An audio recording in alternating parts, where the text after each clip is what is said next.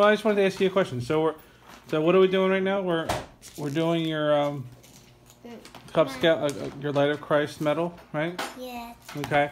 So, so what are the, what's the steps say? What, what do you have to do?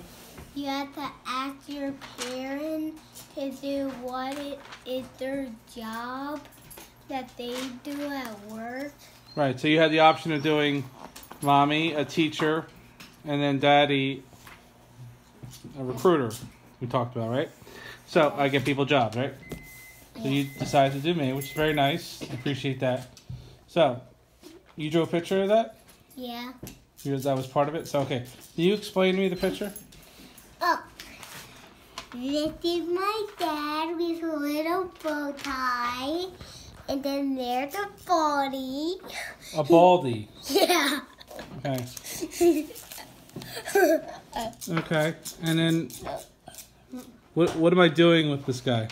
You're talking to him about a new job.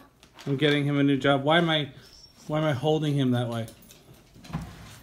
Um, not. You're not holding him.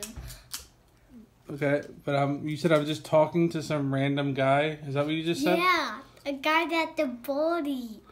Talking to a random baldy. yeah. That that's what daddy does every day? yeah. Well, you know, it's funny. I actually do talk to that to somebody that fits that description anyway. But that's ironic. Anyway, so yeah, so that's what I do. There it is, folks. Graphical representation of what I do on a daily basis.